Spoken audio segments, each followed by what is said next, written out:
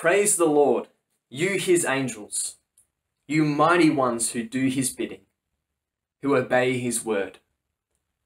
Praise the Lord, all his heavenly hosts, you servants who do his will. Praise the Lord, all his works, everywhere in his dominion. Praise the Lord, my soul. This is the prayer of David for us this morning from Psalm 103. Welcome to worship. This morning, or this afternoon, or tonight, as we gather together uh, to worship our God and our Savior Jesus Christ, who was resurrected from the dead so that we could live new lives, so that we could live as new creation for God instead of the world. Join with me as we sing this morning.